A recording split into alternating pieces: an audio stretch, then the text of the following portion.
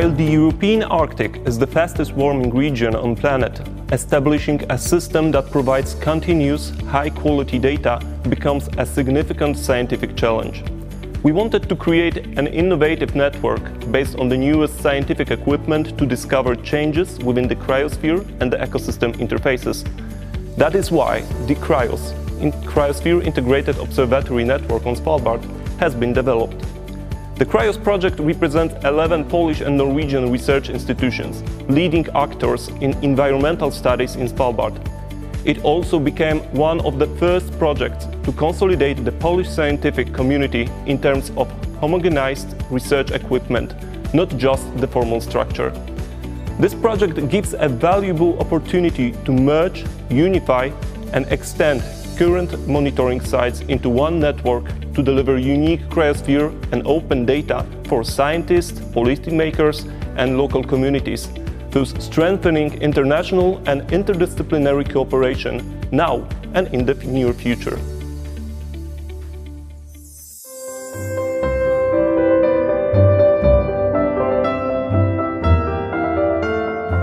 Looking at the paintings, one sees colors, shapes and brushwork, but also craquelures which give painted surfaces a historic appearance and enrich viewers' perception.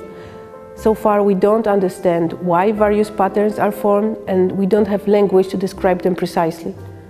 Moreover, paintings are the most precious and frequently exhibited category of art objects, which at the same time is the most vulnerable to relative humidity and temperature variations. The Greek Cracolor project, using three-dimensional computer modeling and using material properties of very old historical paints, elucidated mechanisms of craquelure formation, but also demonstrated that objects with developed craquelure pattern are much less vulnerable to environmental variations than previously assumed.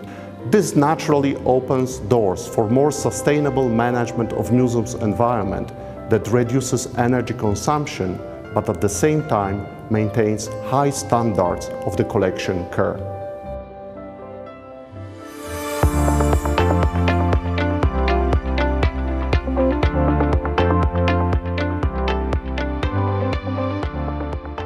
The main aim of our project is to investigate how eutrophication and climate change impact on the capacity of the sediment to remove permanently nutrients. The main study site is the Gulf of Gdansk in the southern Baltic Sea and an additional one is uh, Goro Lagoon in Italy. Both sites experience eutrophication and climatic anomalies and are affected by riverine discharge from rivers.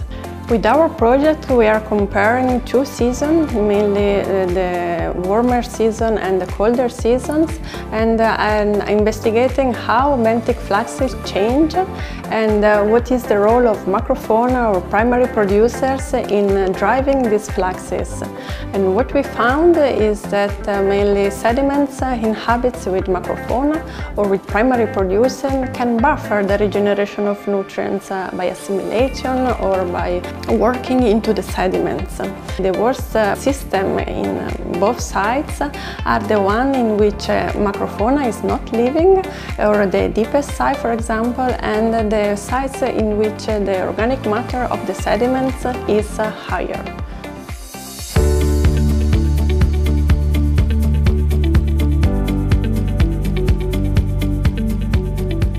Polkanorski is a project led by the Multilada team from the University of Warsaw, Oslo Metropolitan University and the University of Oslo in Norway.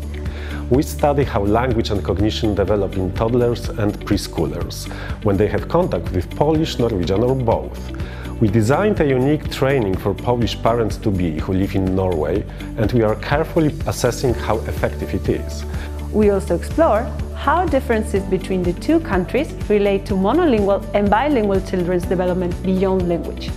For example, the different ways in which the relationship between people and nature is viewed in Polish and Norwegian culture may translate into how children immersed in either one or both of these cultures reason about biological facts. As a result of the project, we will have a better understanding of how bilingual children develop we will offer new tools for assessing their language and provide guidelines for parents and teachers. We want everyone to see bilingualism for the opportunity it is.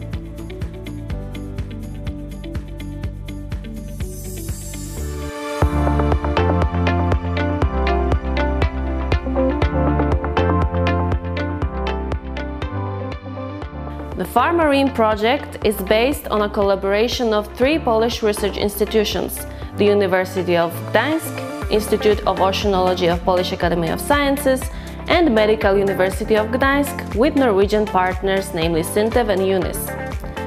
The project mainly focuses on the pollutants transportation from the continental Europe to the European Arctic and the effect those pollutants exert on the Arctic ecosystem. As for now, in the water samples collected around Svalbard archipelago, we detected the presence of common pharmaceutical compounds, which led us to further investigation efforts. We have also started to investigate the biological response of key marine benthic species exposed to human pharmaceuticals in controlled laboratory conditions.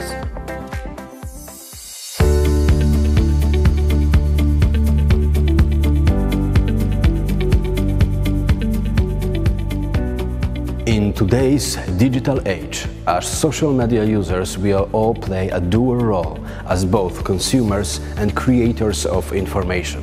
Social networks empower users to produce and disseminate false information. Misinformation on these platforms threatens democratic stability by fostering ideological radicalization and eroding trust in public health authorities.